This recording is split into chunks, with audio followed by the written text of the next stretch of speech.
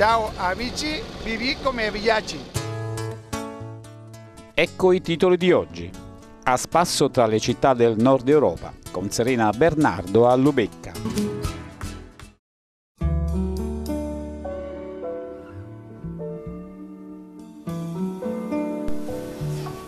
Quando alla fine dell'estate scorsa la nostra truppa ha visitato Amburgo, la cosa che più ha colpito è stata la gran voglia che tutti sembravano avere di approfittare del sole e del clima favorevole per restare ancora un po' a contatto con l'acqua.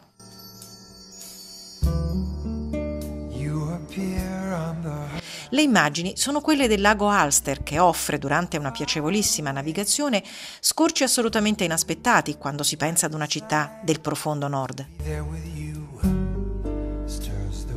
Eppure il legame che Amburgo ha con l'acqua è fortissimo. Circoli velici, piattaforme per prendere il sole, pontili, passeggiate bordolago e anche qualche spiaggetta dove mettere i piedi nell'acqua.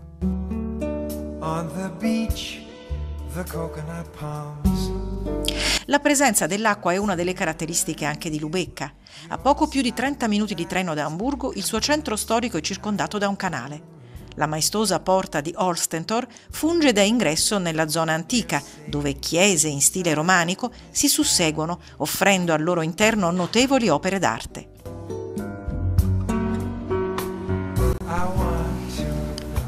Assolutamente imponente il crocifisso in legno conservato nella cattedrale di Lubecca e altrettanto impressionante è la navata centrale di Santa Maria, una chiesa risalente al 1200, la cui altezza è di ben 40 metri.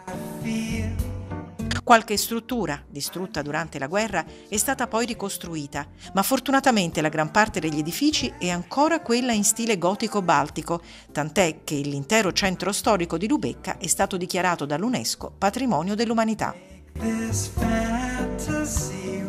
Deliziosa anche la Marketplatz e il lungo corridoio a volta che porta alla casa natale di Thomas Mann.